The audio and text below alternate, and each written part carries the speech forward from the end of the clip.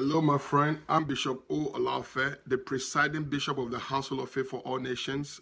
I have a word from God for you today. God is thinking about you, God has you on his mind, and God wants to do a new thing in your life. God wants to do a new thing with your life. Yes, that's the agenda of God. That's the prophetic agenda and counsel of God concerning your life. God says, The former things are come to pass. He said, But new things do I declare.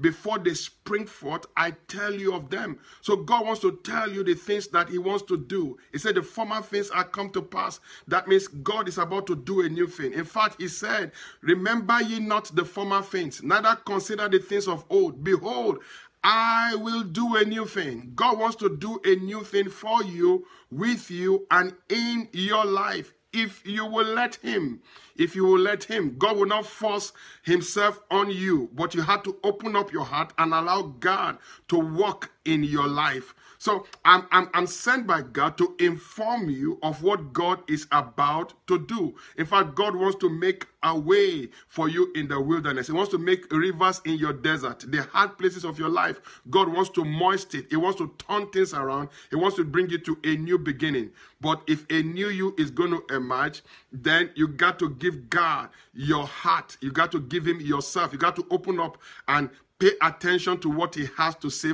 to you. And I want to show you by the Spirit of God the areas of your life that God wants to do a new thing. Time will not permit me in this little broadcast here, this short broadcast, but I want to give you an invitation. I want you to come and worship God with us at the Household of Faith for All Nations. We have two powerful locations in the Atlanta metro area. We have a location in Smyrna and another location in Norcross. If you go to our website, that website is hoffan.org. H-O, that's www.hoffan.org you're going to get the location and the schedule for our services. I want you to be a part of their services. Do you need a breakthrough in your life? You need a miracle in your life? Do you need a touch of God? Do you need a touch of the supernatural? Do you want to experience something new in your life? What eyes have not seen, what ears have not heard? Do you want to go to a new level in your life? Then make it an appointment. You want to be healed in your body. You want direction from God. Make it a, an appointment on in any of our services and you're going to have a story to tell.